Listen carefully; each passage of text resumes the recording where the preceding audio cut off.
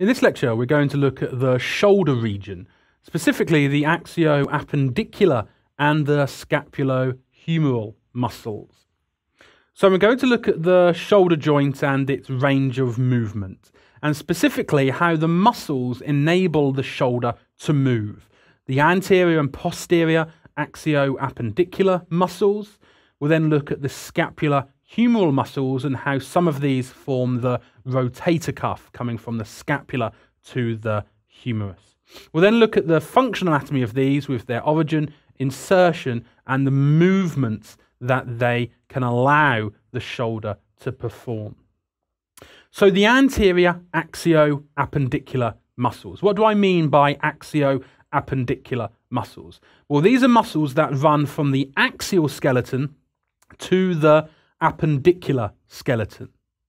So they run from the axial skeleton, the sternum, the ribs, the vertebral column, to the appendicular skeleton, which in this case is the upper limb, the superior appendicular skeleton, the clavicle, the scapula, the humerus.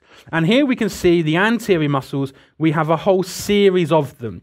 We have pectoralis major, we can see here. We can have pectoralis minor, we can see here. We've got subclavius, we can see here. And also we've got serratus anterior. We'll come back to that later on.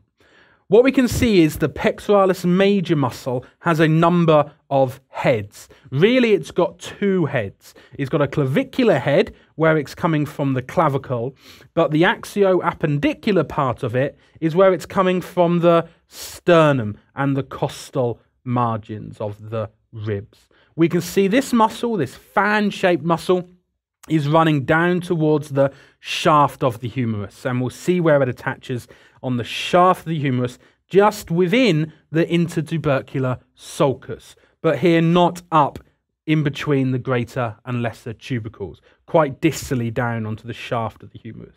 So we've got pectoralis major here. This is a large fan-shaped muscle that's easily visible once the skin of the anterior chest wall has been reflected.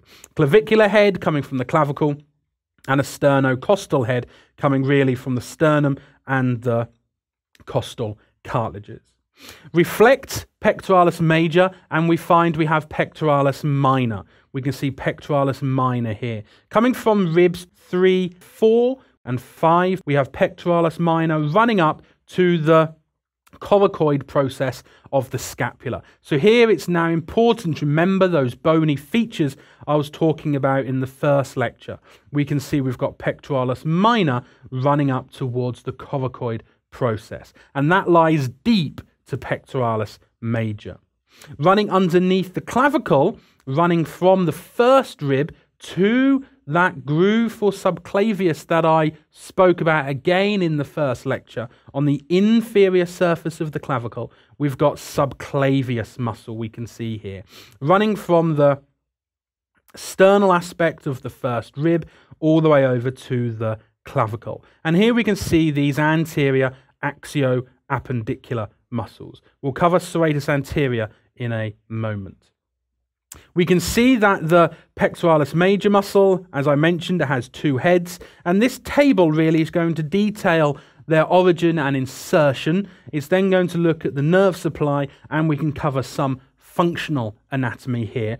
But here with the pectoralis major, we've got the clavicular head and the sternocostal head. We can see where they're attaching, as I mentioned previously. And these are going to insert into the intertubercular sulcus, specifically the lateral lip of it, but not between the two tubercles. And the nerve supply to this muscle is via the lateral and medial pectoral nerves. And these are branches that are coming from the brachial plexus, which we'll see. Here we've got the specific root values, so the specific spinal cord segments that give rise to those nerves. The function of pectoralis major is it adducts and medially rotates the shoulder joint. So it adducts, it brings the arm back against the thoracic cavity, and it's also involved in medially rotating the, scap- the shoulder joint. It also pulls the scapula anteriorly, so it protracts the pectoral girdle and it pulls it inferiorly as well. So pectoralis major. Remember here we can see pectoralis major muscle. Now we've got pectoralis minor. We can see pectoralis minor, like I said, coming from ribs 3 to 5, passing towards the coracoid process of the scapula.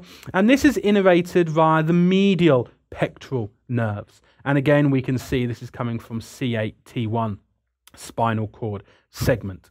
Pectoralis minor is important in stabilizing the scapula, so it holds the scapula against the posterior chest wall and it also pulls it anteriorly and inferiorly, a similar function to pectoralis major. If we remind ourselves of subclavius, positioned inferior to the clavicle, we can see that it's running from the first rib and the sternum, the junction of those two, to the middle third of the clavicle, supplied by the subclavian nerve. It stabilizes and depresses the clavicle. We can appreciate that if we see it here coming from the junction of the sternum and the first rib. This is going to be a solid, its origin. This is not going to move. And as its muscles contract, it is going to depress the clavicle.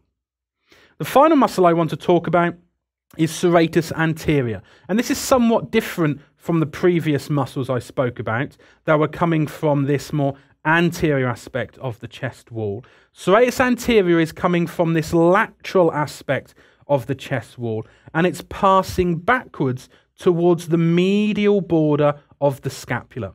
So here we can see the medial border of the scapula. Remember, this is the lateral border.